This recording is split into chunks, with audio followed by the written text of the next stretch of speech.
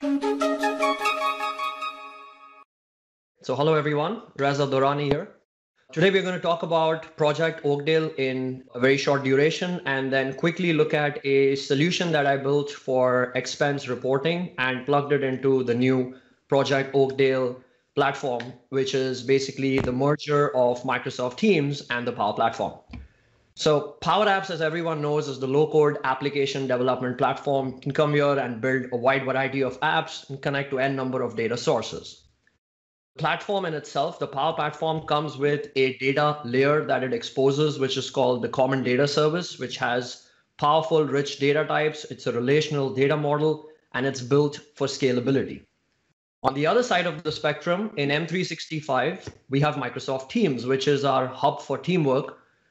And in Teams, typically for building applications, uh, you need to probably have more pro dev skills in order to build apps and deploy them into teams. Now, Power Apps makes that really easy in a low code, no code experience. So, would it not be great if we could merge the two together, whereas we can leverage the Power Platform along with the data layer, which is CDS, and have all of that experience directly in Microsoft Teams? And that is exactly what Project Oakdale is. Project Oakdale is the code name for now. This name is going to change in future. Basically, this is a low code data platform that has been built for your Microsoft Teams. And the way you get started with this is in Microsoft Teams on the left hand navigation rail. If I head over to those three ellipses, all I have to do is search for the app called Power Apps. And once I have this app and once I install this app, right here within the context of Microsoft Teams, I get this experience of building apps using Power Apps for Microsoft Teams. And if I head over to the build tab right here, this will list out all my Microsoft Teams for which I have gone ahead and created an app. Now in my scenario, of course, we just have 15 minutes, so I'm going to be respectful of that time. I have already gone ahead and created certain artifacts with respect to my Microsoft team. So I have a team here called PlayZone. And if I head over to see all, this will list out all the artifacts associated with my Microsoft team. Now, the key thing to understand about Project Oakdale is you can build apps, you can build flows, you can also build chatbots using Power Virtual Agents. And all of these three things can leverage the low code data platform, which is embedded directly for your team. It's like a light version of CDS. And right here, if I head over to tables, these are all the data tables that I can create within the context of my Microsoft team. And all of this at no additional licensing cost. Your standard Office licenses will give you access to all of this. So for building bots, no premium licensing. For building apps and flows that talk to your data tables embedded in your Microsoft team, no premium licensing required whatsoever. So that's the beauty of Project Oakdale. Now, in my scenario, I would like to demo an application that I built leveraging Project Oakdale. And uh, the idea for this actually came up with one of the templates in Power Apps. So if I head over to Power Apps and if I go to Home, there is this small little link that is extremely difficult to uh, look at. It's right here. It is called All Templates. And if I head over here, this will list out a lot of the templates that were created by Microsoft for the Power Apps. Now, of course, most of these templates are pretty old and some of the patterns in them are also outdated. So let me warn you uh, before starting to use them. But right here, there is a template called expense reporting. It's called the My Expenses template. And of course, this template, although it says connects to SharePoint, in reality, it does not. Uh, it just connects to a very simple Excel file, I believe. And, and it's just a good starter boilerplate template to get started with. So what I was able to do is I was actually able to leverage this template, enhance it, and use the data platform capabilities in Project Oakdale and come up with an expense reporting solution. So the next step, what I will do is I will go ahead and project my screen from my mobile device. So I will head over to Teams. And right here, I am in the context of Microsoft Teams. Now, leveraging Project Oakdale, you can quickly build apps and push those apps to your teams. So here is my team right here on the top called PlayZone. If I head over to my team and if I head over to more on the top right hand corner, I have my expense reporting app that I built leveraging Oakdale right here in the context of teams. And if I select this, this will actually go ahead and open up my app right within Microsoft Teams. And this now is my expense reporting application that leverages the data platform which Oakdale provides for my Microsoft team. And this is listing out all my expenses currently. I can categorize my expenses based on the status of the expense, whether they are pending, approved, rejected, or I can see all my expenses in one go. Now let's go ahead and create a new expense. So I'll go ahead and create a new expense. I will call this the community call expense. I can give this a start date and an end date. Notice the usage of the controls and the theming that matches the theming of Microsoft Teams. So I will pick today's date, end date is today's date. I can go ahead and pick a cost center associated with my expense. I will pick Contoso and I will go ahead and plug in a few commands and I will click create. Now, the moment I do this, this has gone ahead and created an expense for me in my Oakdale environment. Now, this what you're looking at right now is leveraging the data platform for Teams. And I'm using a lighter version of the data platform, which is CDS, which enables a relational data model. So right here for an expense, I can add multiple line items. So let me go ahead and add a line item. A line item basically is a receipt that I can upload related to my expense. Now, right here in the context of Teams, once again, I can go ahead and upload a receipt. This is using the image data type in Oakdale. So I'll go ahead and say upload a receipt. And because I am on my mobile device, I have the option of opening my camera. So let me go ahead and do this. And right here on my desk, I have a fake receipt that I stole from the web. So this is not me. And I'll go ahead and take a picture. So I've basically right now using my camera just taken the picture of a receipt. And the moment I do this, I'm actually leveraging Azure Cognitive Services now, which calls in the receipt scanning component. And that will go ahead and process the receipt and get the information. So I was just talking to waste time. If you notice right there on the bottom, it gives me the name of the merchant, it gives me the total cost, and it also gives me the transaction date. All of this leveraging Azure Cognitive Services. Next, I can go and pick the category associated with my expense. This is food and beverage give a description. So I'll call this a virtual lunch, and then I will click on save. And just like that, I added a line item and related it to the expense. That's the relational data structure right here in action. If you look at my expense at the bottom, if I select the attachment, it will actually open that same image that I just captured right here live. And of course, I can go ahead and add additional receipts related to my expense. And all of these expenses get added up together and I can see the total expense cost right here. Now, once I'm done with this, I will go ahead and click on the submit button.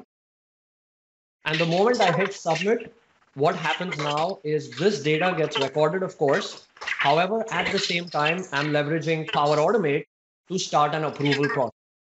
So let's go ahead and let's go back to my Teams now uh, what has happened is i went ahead i created an expense and uh, i submitted my expense. And the moment i submit my expense what it does is it basically records it in the system.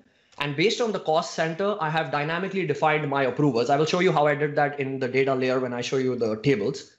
So right now what's happening is a flow is getting triggered and that flow is going to send out an adaptive card. Why? Because i want to stay in the context of teams to my approver dynamically so my approver can go and approve or decline the request.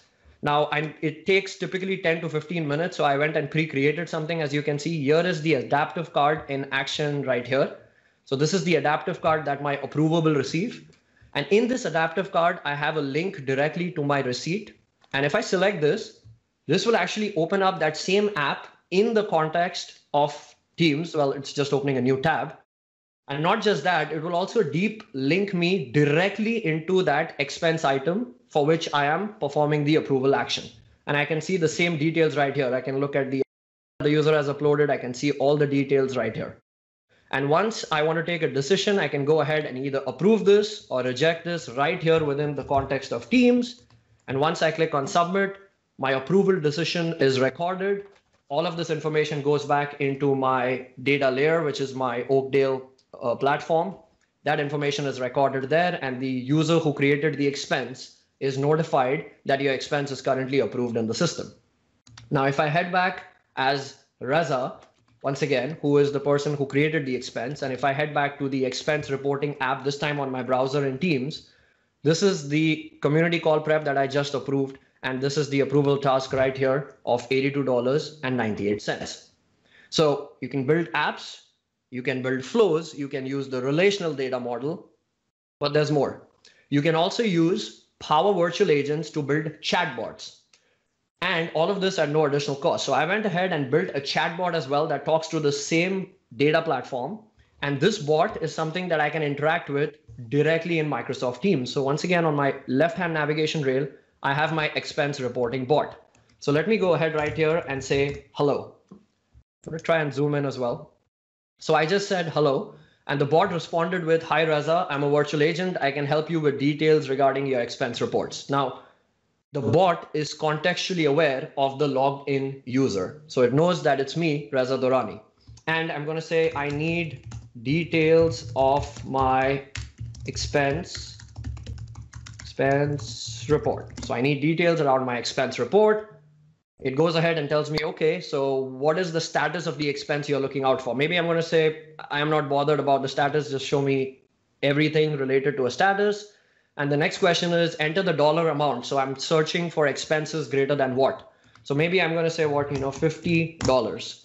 And once I do that, it will go ahead and actually trigger a flow. The flow will query my data source, get that information, pick the data, and post that information back right here to my bot. And as you can see, it's gone ahead and showed me all those expenses that are above $50.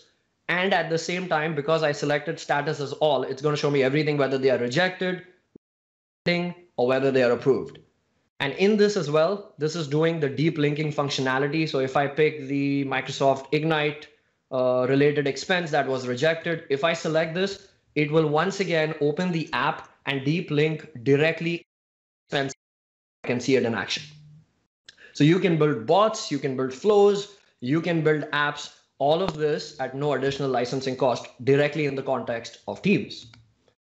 Now, if I head back to my Microsoft Teams and if I head over to Power Apps and if I head over to the Build tab once again, I just want to show you what the backend looks like. So this is my team. And in this team, if I head over to Apps, you can build multiple apps per team. So you're not restricted to just building one app. So as you can see right here, I have an expense reporting app. I have a help desk app that I've built for this specific team. If I head over to chatbots, this is going to list out all the chatbots that are associated with this team. If I head over to flows, it's going to list out all the flows. So you can build flows, apps, and bots. The key here is in the tables that I'm leveraging, which is the relational data model that's baked in right here for you in the context of Microsoft Teams. Now, in my scenario, remember I created expenses, line items. So if I head over to expenses, and if I go to quick edit, they've kind of given a SharePoint like experience right here, which is very cool. As you can see, this is listing out all the expenses that are being logged in my system. And all that information is right here. And remember, this is a relational data model. So I have related this to other tables. For example, I have a table called line items. This is where all those individual line items are mapped and they are related to an expense. And here is that lookup column, which is a true lookup because it's creating the relationship. Even the receipts that I uploaded, you can see those images right here in the quick edit mode. And finally, I have my third table, which is called cost center. And when the user picks a cost center, when they are creating a receipt, this is where I'm dynamically defining my approvers. So in my scenario, because I picked the cost center as Contoso, James gets the approval action. If, it, if I picked it as Microsoft, then Reza would get it. So I can dynamically define my approvers as well and leverage Flow to talk to the same backend data source. So this was all about uh, the expense reporting solution. I think this is something that is pretty cool. And all of this, what I built, by the way, is I built it in 10 hours flat. Why? Because I reused a lot of things. I, I reused one of the existing templates. I use Project Oakdale, quickly build these tables and create these relationships. Just push, push my app into Project Oakdale, copy paste stuff in there, and uh, connect things, build a flow, build approvals, and the chatbot experience as you saw it in action. That's it for my demo for today. I hope you guys liked it. Rosa, Daniel had a quick question. Um, he wants to know, yes. can that could that have been a multi-step uh, approval? Absolutely, yes. It could have been a multi-step approval process. It could be any kind of approval process you desire. This is Flow. Uh, whatever you can do in Flow, you can do it right here as well. Any other questions? I think a lot of people are really helping each other in chat with most of the questions right now, Reza. Nothing popping out at me. I like the new things you added to it since I saw it last time. Nice little enhancements there. It looks really nice. I would just well like to give one one shout out, please, from my side. I would like to give a shout out shout out to that API guy, Vivek Bavishi. Uh, the there is no AI builder today in uh, Project Oakdale. I really hope it comes in future. Currently, it's not available. So if you noticed when I added my receipt, it went ahead and scanned the receipt for me using the receipt scanning component. All of that, uh, I used one of the videos that uh, Vivek put out and uh, put that in action right here in my app because I just wanted to use the receipt scanning component. So thank you, Vivek. Nice.